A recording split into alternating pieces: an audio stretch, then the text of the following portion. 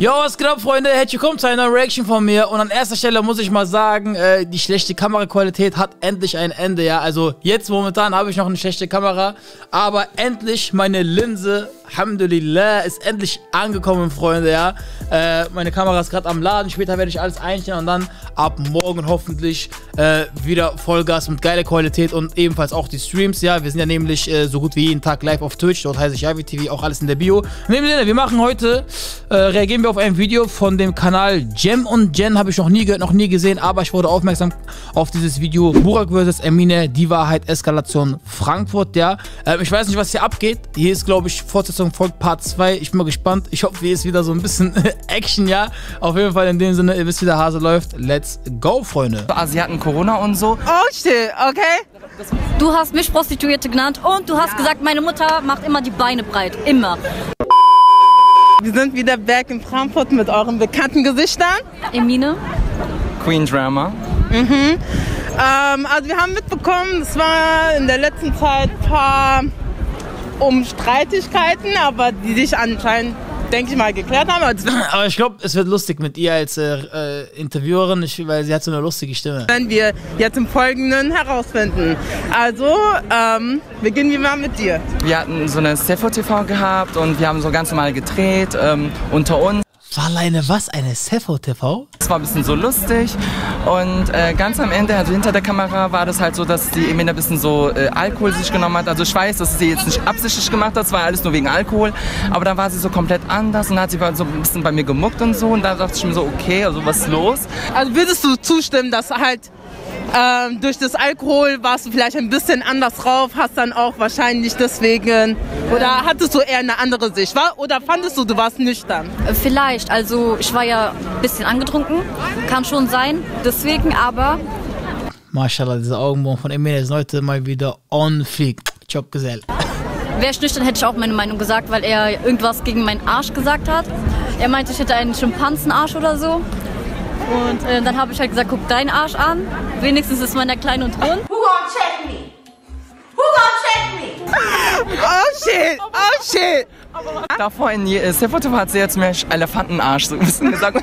Ich habe mich nicht darüber ärger, geärgert, aber diese Schimpansenarsch war das in Insta, da wo ich repostet habe. Das wollte ich nur in Video erwähnen, aber habe ich nicht in Video erwähnt. Nur das hat sie halt falsch verstanden und ich habe mich halt entschuldigt und das war so ein bisschen hin und her.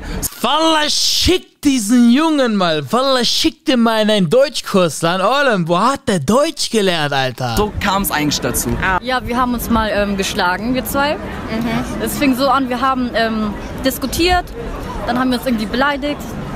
Ich hatte da auch eine Dose in der Hand, die war aber dann schon leer. gesagt. Das war Anfang, äh, das, wir hatten sogar Zoom-Meeting mal mit so Frankfurter Szene, war auch noch mit da drin. Ähm, nee, Was für ein Meeting war Bruder, der Typ, der erfindet Wörter, ne? Die habe ich noch nie in meinem Leben gehört. der hat auch ein bisschen so meine Mutter beleidigt und ich habe genau und ich habe halt auch gemeint, so, aber es war aus Versehen, also es war wirklich aus äh, ähm, aus Wut. Habe ich dann gemeint, so Asiaten Corona und so. Pandemic. It's a pandemic. It's a pandemic. It's a pandemic. It's a pandemic. Oh shit, okay. Das war ein bisschen rassistisch, ich weiß, ich habe mich auch danach entschuldigt und so. Ähm, über diese Mutter, da hat sie auch ein bisschen so falsch, weil ich habe mir nur versucht zu erklären, was das Begriff bedeutet. Und in dem Moment habe ich nur gemeint, dass wir jede alle Mutter haben und jeder gelöchert wurde. Und das hat sie wahrscheinlich ein bisschen so mit Prostitution oder sonst was falsch verstanden, mäßig. Und Du hast mich Prostituierte genannt und du hast gesagt, meine Mutter macht immer die Beine breit. Immer. Und ähm, meine Mutter ist in einer glücklichen Beziehung. Sie ist schon jahrelang mit ihrem Freund zusammen. Und dann kam es direkt zur Schlägerei. Ja, ja, das war halt so ein bisschen, weil sie halt Ich sag mal so, an erster Stelle, wenn man sich gegenseitig beleidigt, also, also man, man soll sich nicht wundern, ne, wenn man aushält, dass man auch einstecken muss. In dem Sinne, wenn man sich jetzt gegenseitig beleidigt, dann würde ich sagen, ey, belass es doch dabei. Also, ähm, das heißt noch lange nicht, dass jetzt irgendeiner den anderen schlagen soll oder darf, weil wenn du zuerst beleidigst, dann rechne damit, dass zurück beleidigt wird, ne? Hurensohn gesagt hat und ich wollte nur diesen Begriff erklären und da kamen mir ein paar Wörter raus und es tut mir halt leid. Okay, habt ihr, gab es dann am Ende schon so Verletzungen, die ihr durch diese Schlägerei hattet? ich hatte, ich hatte auf einmal seine Perücke in der Hand. Hold up. Wait a minute. Also, warte mal, du hattest vielleicht die Perücke in der Hand, weil, was jetzt keinen juckt. Aber Emine wurde ganz kurz zu Turkish Airlines. Die ist doch kurz nach Istanbul geflogen. Allah nein, die arme Boah, die ist echt mies geflogen, ja. Meine Nägel waren auf einmal ab. Aber warte, eine ganz wichtige Sache vergisst. Sie hat mir die Wodka-Dose mir in die Fresse geworfen und ich Wodka in die Fresse. Das stimmt. Da, da, man muss sagen, es hat aber. Guck mal hier, warte, hier ist die Szene. So. Man muss aber sagen, Emine hat angefangen. Ja, eine, wenn jemand eine Dose ins Gesicht geschmissen bekommt, dann ist es normal, dass man so reagiert, dass man dann zurückschlägt. Ne? Also, ja, eine, nicht wundern. hab ich hier auf ihren Haaren losgegangen und dann hat sie meine Perücke genommen.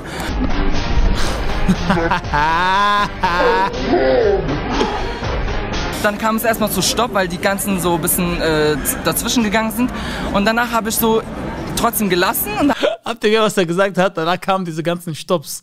Und der denkt, oh, der ist Autorennfahrer, Boxenstopp. Nur weil, ey, dieser Typ, der, ey, der drückt sich aus, ne? hat mir eine reingestellt und dann, dann habe ich weitergemacht. Und danach kam es Ach du Scheiße, also eigentlich hast du kaum was kassiert, sag ich das mal. Oder Der hat halt meine Haare gezogen. Der hat mich ange... Also ich sag mal so, dieses Haare ziehen auf den Boden werfen ist auf jeden Fall tausendmal schlimmer, wie jetzt eine Klatsche geben, weil ich glaube, ihre Klatsche tut auch kaum weh. Der ist ein Mann, Digga, der hat ein bisschen hier abbekommen, aber, ne, als wenn das jetzt so schlimm wäre. gezeigt. Ja, wegen Morddrohung. Wegen Morddrohung, ja. Okay, was waren das für Drohungen, die du als Morddrohungen empfand? Äh, sie hat ja so mehr Abonnenten als ich, mehr Reichweite anscheinend und das, das hat sie so ein bisschen mit mehr Jungs und also sie hat ja auch so ein bisschen mehr, wie sagt man das, Umgebung halt, in dem ich ja gar keine habe. Ich, hab, ich kämpfe ja schon seit 20 Jahren, seit meinem Geburtstag, seit meinem Kindheit, ich habe gar keine Freunde und versuche im Leben wirklich alleine klarzukommen äh, und ähm, deswegen nenne ich mich auch manchmal, also ich hab, früher habe ich mich immer Boss deswegen und wenn Menschen gibt, die mehr Abonnenten haben als ich und damit sogar angeben, ja ich mache dich jetzt mit meinen Jungs fertig und so, also das finde ich echt Frechheit und deswegen hatte ich so, also ich hatte keine Angst, aber diese Morddrohung hat mir ein bisschen Angst bereitet und deswegen habe ich es angezogen. Was wolltest du der Emine in dem Moment sagen? So, wenn du richtig könntest, was willst du sagen? Willst du sagen, oh, fuck you, b****? was, was willst du sagen? Kein Plan, ist halt ehrenlos. Ich weiß nicht, ich würde jetzt nicht... Ehrenlos. Oh, was sagst du dazu? Ja, keine Ahnung. Also, vielleicht habe ich ein bisschen übertrieben mit den Morddrohungen, aber das waren eigentlich keine Drohungen, sondern einfach nur so, jeder hatte Falle, wenn sich kleine Kinder, ne, gegenseitig, äh, echt irgendwie drohen mit äh, Mord und keine, Falle, man kann die doch nicht ernst nehmen, Digga, ja, ne, niemand von denen würde so weit gehen und sowas machen, ja, ne, geschweige denn, die hätten nicht mal die Eier dazu. ein Frankfurt-Verbot gegeben, verstehst du? Ich wollte gerade sie sagen.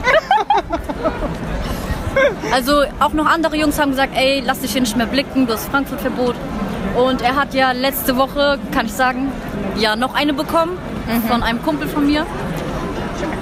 War es wegen dir oder? Weiß ich nicht. Aber ich war, ich war nicht dabei. Ich, sel ich stand selber hinten, ich habe da nur Rumgeschrei gehört und dann bin ich. Nein, okay, da, da tut mir jetzt ein bisschen leid. Äh, Ich will jetzt hier niemanden nehmen, aber das tut mir jetzt mir ein bisschen leid. Wenn er jetzt einfach so von einem Kerl noch mal eine Klatsche bekommen hat oder eine Bombe, ja, ah, es tut mir schon ein bisschen leid. Ja. Ah, nein, nein, das war eine, äh, das war wegen, weil er, ah, das ist jetzt, aber hat er das wegen dir gemacht? Nein, weiß ich nicht, keine Ach Ahnung. so, nein, nein, das war auch so ein bisschen so, der war ein bisschen homophob und ähm, davor hat mir ein Dam so ein bisschen geschrieben, also ich will jetzt auch nicht so pädophil sein, ich wusste auch gar nicht, wie alt weil da, der war, aber seine Freundin hat halt erzählt, dass er 16 Jahre alt war danach. Und ähm, dann habe ich halt so ein bisschen angemacht mäßig, also ich hatte so ein bisschen Gefühle und so. Ich sollte aber...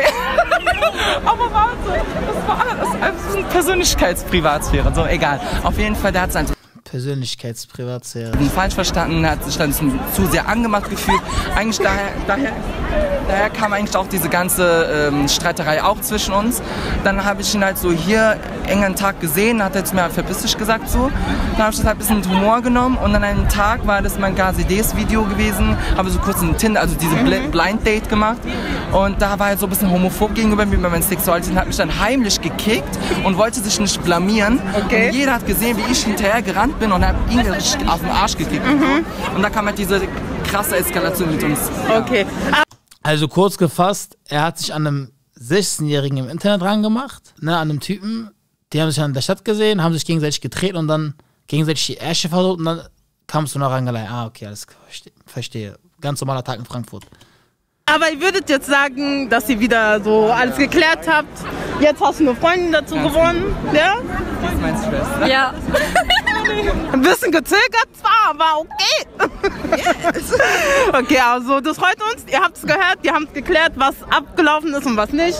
Und danke, dass ihr dabei wart. Alter, Digga.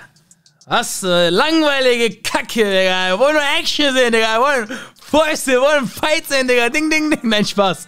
Freunde, das war's mit dem Video, ja. Ja, okay, wenn die es geklärt haben, ne, freue ich mich ja darüber, dass es zu keiner Schickerei mehr kommt. Dass sie das mit Worten klären konnten in dem Sinne. Nein, Spaß. Das war's mit der Reaction. Danke fürs Einschalten. Bis zum nächsten Mal. Peace.